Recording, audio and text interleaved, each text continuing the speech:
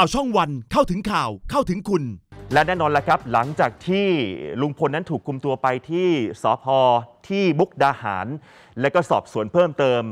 ล่าสุดดูเหมือนว่าจะต้องถูกคุมขังอยู่ที่นั่นสถานการณ์ล่าสุดนั้นเป็นอย่างไรนะครับ คุณนรพรพจนเนียนสดเข้ามาจากที่มุกดาหารนะครับ คุณนรพรครับ ค่ะคุณเอกรัตน์คะตำรวจได้คุมตัวลุงพลมาถึงที่สพกกตูมแล้วนะคะ โดยมีป้าแตนและก็ญาติญาติๆเข้ามาให้กำลังใจ ยืนยันว่าจะสู้จนถึงที่สุดค่ะ ขณะที่นายสิทธาระบุนะคะว่าหากลุงพลไม่ได้รับการประกันตัว จะมีการเตรียมเอกสารเพื่อต่อสู้ในกระบวนการชั้นศาลต่อไปค่ะ เมื่อเวลา 20 นาฬิกา 15 นาทีรถตู้ของตำรวจที่ได้คุมตัวลุงพล หรือนายชัยพลวิภา ลุงของน้องชมพู่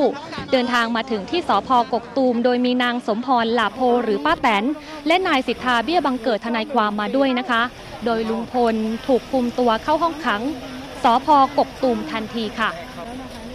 ทีมข่าวสอบถามนายสิทธาระบุนะคะว่าการออกหมายจับครั้งนี้ เชื่อว่าเป็นการออกหมายจับผิดไปจากข้อเท็จจริง ซึ่งหลังจากนี้ตนจะทำหนังสือให้ตรวจสอบข้อเท็จจริงกับตำรวจ ก่อนไปนำเสนอสารอีกครั้ง โดยยอมรับว่ายังมีข้อสงสัยหลายประเด็นค่ะ โดยเฉพาะพยานหลักฐานที่ผู้บัญชาการตำรวจแห่งชาติกล่าวอ้าง ซึ่งยังไม่ชี้ชัดว่าเกี่ยวข้องอะไรกับลุงพลค่ะ ซึ่งส่วนตัวพร้อมที่จะเข้าสู่กระบวนการทางกฎหมาย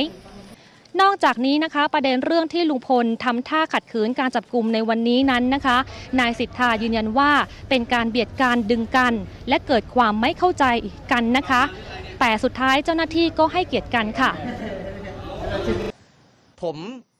ให้คำปรึกษาแล้วบอกกับลุงพลแล้วว่าเรื่องราวมันจะเป็นยังไงบ้างนะครับ จะมีการส่งตัวอะไรยังไง และความเป็นไปได้ที่ทางตำรวจจะไม่ให้ประกันตัวก็มีสูง ให้ลุงพลต้องทำใจรับนะครับ แล้วก็ คือจริง ๆแล้วนะครับ ผมจะบอกให้ว่าทั้งลุงพลกับผมเนี่ย ดีใจนะครับ ที่ว่าวันนี้เนี่ยลุงพลได้เข้าสู่กระบวนการเพียงแต่ว่าผมเนี่ย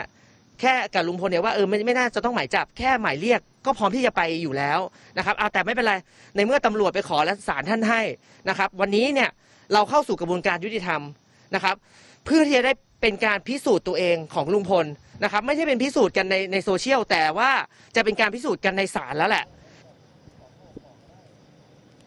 ในส่วนการสอบสวนวันนี้พลตำรวจโทยันยงเวทโอสถ ผู้บัญชาการตำรวจภูธรภาค 4 เปิดเผยนะคะว่า เบื้องต้นลุงพลให้การปฏิเสธทุกข้อกล่าวหา และยอมรับว่ามีอาการเครียด ซึ่งในวันพรุ่งนี้ไม่มีการทำแผนประกอบคำรับสารภาพ แต่อาจจะเร่งสอบสวนให้เสร็จสิ้นครบทุกประเด็นค่ะ และคาดว่าจะนำตัวลุงพลไปฝากขังที่ศาลจังหวัดมุกดาหาร ได้ในวันศุกร์ที่ 4 มิถุนายนนี้นะคะ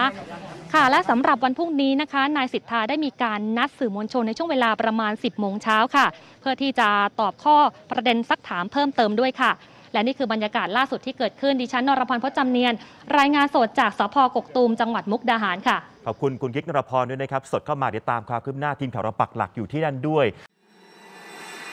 สวัสดีครับ ผมจัดทีมะ อย่าลืมกดไลค์ กดแชร์ กด subscribe YouTube ข่าวช่องวัน จะได้ไม่พลาดทันข่าวทันทุกเหตุการณ์ เปิดเผยทุกความจริง